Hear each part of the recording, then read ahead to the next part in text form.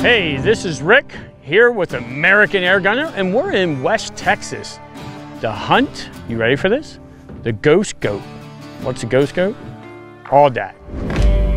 We're going to be looking for an aoudad today, hunting on a ranch that's 17,000 acres, and it's free range. That means there's no fences. You're going to do a hunting stalk here, and we're going to go see if we can find this goat. This goat is super elusive. I have heard many stories about this goat. I've never hunted this goat.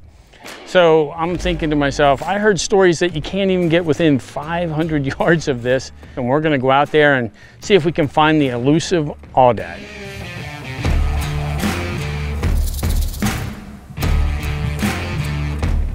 Hey guys, I'm Jonathan Newton. I've been guiding out here for a couple of years. I've actually been coming to the Lee Ranch for about six or seven years now. Aoudad are not native to Texas. They've actually been placed here many years back, but they've established themselves fairly well in this terrain. The Aoudad are so elusive. They do take the high ground. Their vision and hearing is tremendous. It is an incredibly difficult hunt, especially with an air gun, having to get that close with anything.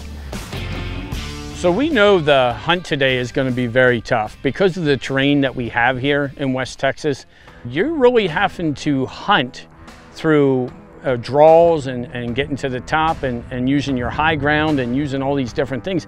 It is absolutely gorgeous here. I love the terrain, it's beautiful, but hunting this goat is definitely gonna be difficult because we're hunting with the air gun, but we have our cameramen also.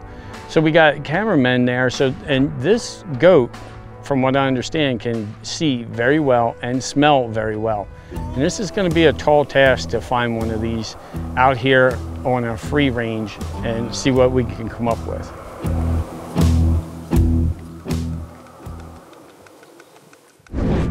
As I was glassing, trying to range for Rick, I couldn't believe that this aoudad was placed so perfectly at 75 yards. Sitting there broadside. There's a ram right here, and he's digging in this ditch and he's just down there just having a good old time. I'm getting set up. I'm taking the safety off. And I'm thinking to myself, when is the shot, you know, where? Because he's moving all around doing all kinds of stuff. And I'm just kind of like, what are you doing? And then all of a sudden, he goes, what you got? And he just turns like this and gives me the lung.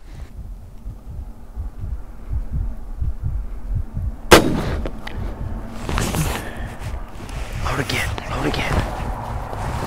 Load again. It's coming right here, Rick.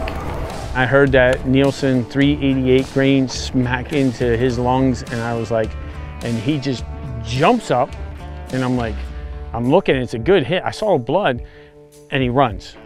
And I had to stand up real quick, and then like, oh shoot, he's running. I didn't miss, did I?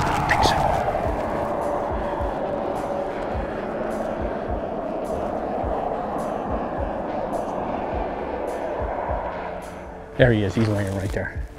He ran 29 yards and there he was, double lunged, done with the Air Force Texan 50 cal. He got him, 75 baby, 75. Look at all those ewes with him too. What a shot. What a shot, man. that was a good one. he took that all dead down faster than any rifle I've ever seen shoot. Yep. And when he turned and gave Rick that shoulder, I knew Rick was gonna place it right where he needed to. 75 yards on an aoudad, that size, that nice of a ram. And listen, Air Force Texan 50 cal carbine smoked him. Yes, sir. That 388 green, uh, grain Nick Nielsen, come on, man. I've had clients that shot three or four different times with an actual rifle and still difficult to take down an animal of this caliber, of this size. Oh my.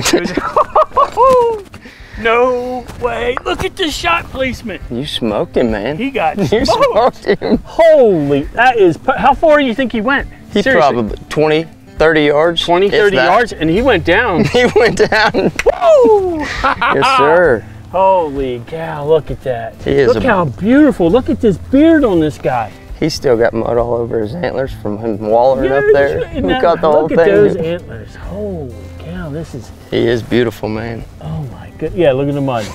yeah, turkey. Oh my, he's gorgeous. So the minute I first laid eyes on this Aoudad, I knew he was a gold medal ram. Body size, his beard, his horns, the curls, everything. He was pushing 30 inches, and for a free range Aoudad in West Texas, you can't get any better than that.